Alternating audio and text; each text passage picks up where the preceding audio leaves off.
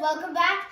Today we will be learning about the French defense. It's an easy, simple one move check. It's a one move defense.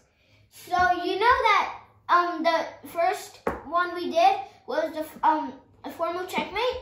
This is like a beginner's defense. So when people try to get it there, you do the French defense to block the bishop, or yeah, usually do that sometimes also they also do um, knight to f6. And that's a good way to stop the four move checkmate.